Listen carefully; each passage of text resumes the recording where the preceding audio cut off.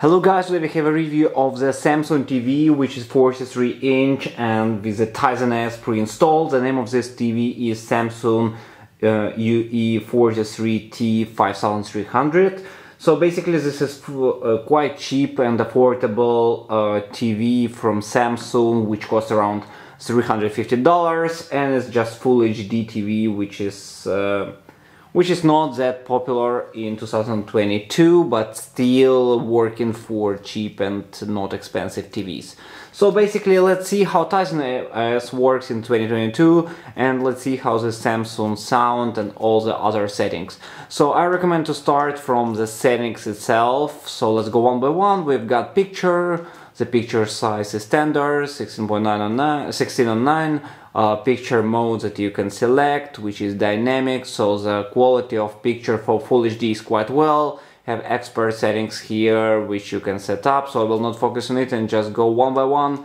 Uh, about the picture although what I want to add that this TV it has uh, full HD and it has 1000 Hz actually so the quality is not that bad and it's made in Vietnam uh, it supports HDR uh, that is also quite good and uh, basically from technologies it has pure color, Motion Rate, contrast enhancer and all the other uh, that Samsung made so I will not focus on. The sound, uh, it has two speakers, each speakers 10 uh, watt so basically not just regular speakers for such cheap TV, so you can use TV speaker, sound mode is optimized, amplifying standard and expert settings as well. Wi-Fi speaker surround setup, so you can select uh, wireless speakers connected via Wi-Fi, so it's quite regular in 2022. Uh, broadcasting, so it supports uh, DVB-C, DVB-S2, DVB, DVB-T2. So all the standards it supports in Europe actually it's supported by this TV. Uh, Alright, I enter the browser. All right let's exit this now. Uh, okay so let's follow up with the settings and finish them. General general settings accessibility network system manager basically nothing special. Apple airplay supported of course external device so this one maybe maybe interested. So you can connect uh, using HDMI SDC this is also quite popular in such TV input device management. So you can manage your keyboard and mouses from here. And uh, I guess uh, it should support Bluetooth but not sure whether it is I think no because it's still a cheap TV Eco solution so there you can set up uh, minimum brightness, energy saving mode, motion lighting and auto power off Smart features includes Autorun Smart Hub and uh, last apps and reset. So support, this we will uh, I think skip and terms and privacy skip as well. So let's go, what else we've got here? We've got the sources, TV remote access, which is quite interesting, let's see. So you can remote PC, actually screen sharing with your PC, also quite uh, useful and it's actually secured by Knox, so you can use it with your Samsung devices, that is also quite nice. Office 365, so basically you can connect keyboard, mouse uh, TV before start and use it as a laptop. That is also quite uh, interesting features. Alright, let's see what else this uh, TV has. Uh, basically apps, search, sources, uh, connection guide. Let's see connection guide. So it has two HDMI, HDMI ports, one USB port, one optical port for sound, and the other for your satellite. Basically, yes, you see it doesn't have any Bluetooth, it has HDMI, optical cable, Wi-Fi, you can connect by Wi-Fi the speakers as well, and video device, you can even use your AV devices to be connected. Uh, smartphone, so you have Apple AirPlay here, which is quite nice. SmartThings from Samsung and screen sharing, so you can share a screen from your phone. That is quite regular for such devices. Apple AirPlay again, input devices, keyboard, mouse, gamepad, game console even can be connected, and external storage. So yeah, connection guide is pretty clear. So let's move on. Search with skip. Mm, all right, uh, apps. so basically we load in the apps it can this Samsung TV has so many apps that Tizen OS comparing to the others very similar so uh, it's including music video sport let's open some video app it's supporting in my region so as you see you can find obviously Netflix and all the other apps IPTV apps some Apple TV app uh, various yeah just um, quite huge amount of these apps. But you see now it's a bit loading not that fast.